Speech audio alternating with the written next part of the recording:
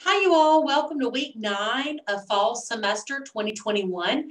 Just a few um, updates for you for this week. Um, number one, course evaluations. They will begin tomorrow, October 12th, and run through November 13th. So for almost one month.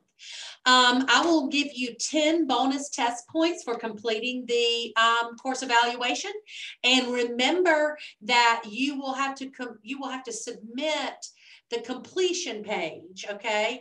Um, so for from now, week nine, until November 13th, whatever week that is, there'll be a submission link in the folder in the weekly folder on Blackboard. So you can just drop the completion page in there and then that way um, you can get your 10 bonus test points. But once you've completed it, you don't have to drop it in every single week, okay? So it's just one time, one time to complete it, one time to submit the completion page and you're good, okay?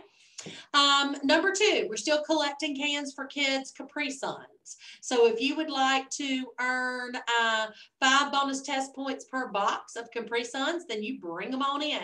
There's a collection place in the um, Dothan campus lab as well as the Sparks campus lab. Just the only thing is make sure that you sign up saying that you brought them, how many you brought, and um, the classes that you take so we can make sure that those points get in the right class to the right person. Uh, number three, if you are going to graduate in the spring, then you need to apply for spring graduation. Uh, you got an email about that and um, and so the link will be in your email, okay? So make sure that you do that. Fourth thing. We'll be uh, registering for uh, for spring 2021 very soon. I will send a signup.com uh, link for you to use to sign up for advising and registration help. Um, you can also use your appointments, advising appointments can be virtual or they can be in person. So either way, um, whatever works for you works for me. So, but it's really important that you get that advising um, appointment just so we can make sure that we keep you on track. Okay. Uh, we offer certain child development classes in, in, a certain order, and we want to make sure that it stays, um, that you take the ones that you need when they're offered so that you can stay on track to graduate. Um, CHD 209, folks, if you are taking CHD 209, we are having a proctored midterm exam this week.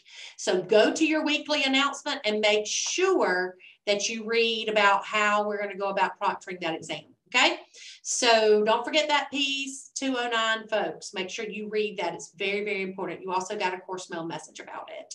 Um, I think that's it for this week. Uh, make sure that you read below and uh, on your weekly announcement so you can know what is due this week in your child development courses that you take with me. So have a wonderful week as always. If you ever need me, just please, you can call me, text me, message me in Blackboard or send me an email. Um, and I am um, willing to help in any way I can. So I hope you all have a wonderful week. We are almost there. We're halfway finished with fall semester. It's flying by. So um, I appreciate you all staying up to date on all of your work and getting that completed. Uh, it makes my job so much easier and it helps you help makes your job so much easier as well. So thank you again. Um, thanks for being a part of the CHD program. Thanks for taking my courses. And um, I look forward to seeing you next week. Bye.